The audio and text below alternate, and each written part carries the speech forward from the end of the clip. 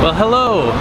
Today, John and I are going to the Apple store here in Singapore, which is brand new. And uh, it is supposedly amazing. I signed up for a photography course there because it's free and why not?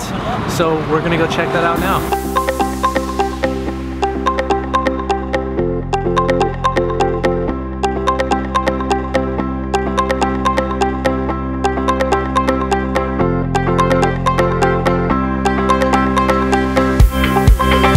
Well, we're just hanging out up here in the Orchard, which is the second floor. I think it's like the Genius Bar equivalent. So they've now changed all of their Apple stores, and this is what it looks like now. So it's pretty cool, really nice and new, and there are a ton of people here.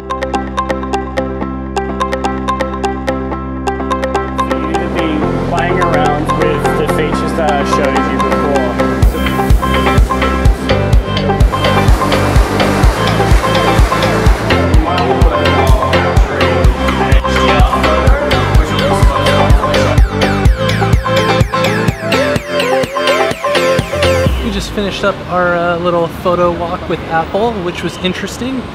It was kind of more geared towards uh, the, the beginner, but there's always some interesting things to learn.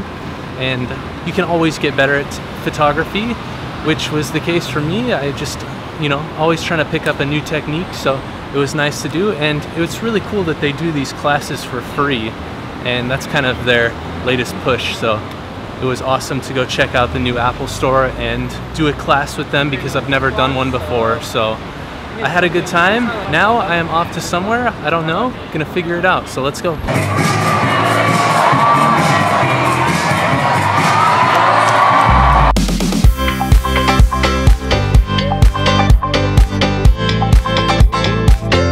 Well, I just got back to my place and rather than uh, continue to neglect the editing portion of it and go explore some more, I'm going to edit tonight and uh, take an easy night, have a beer, and just chill. So thank you guys for watching. I will see you tomorrow.